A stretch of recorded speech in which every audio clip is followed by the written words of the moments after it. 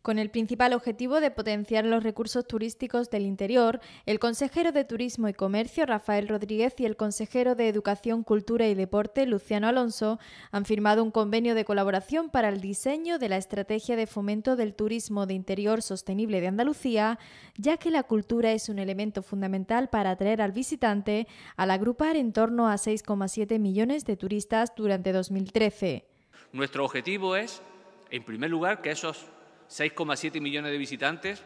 se multipliquen, pero que además esos millones de visitantes que vienen atraídos por nuestra oferta cultural no solo visiten, no solo disfruten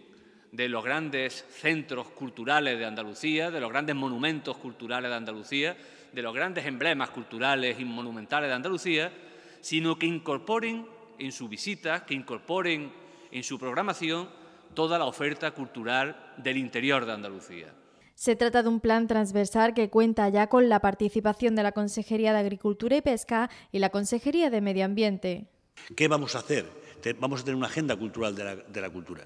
Vamos a poner encima de la mesa una agenda cultural de la cultura, de modo que las nuevas tecnologías se pongan al servicio no solo del ciudadano andaluz y andaluza, que también,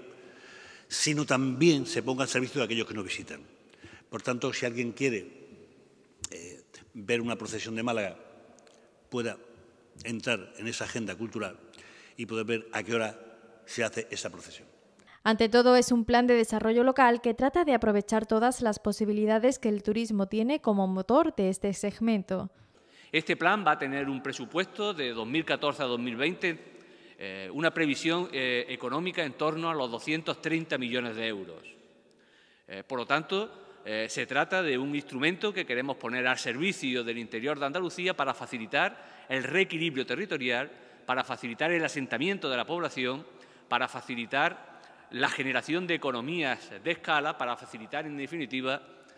eh, un modelo productivo basado también en nuestras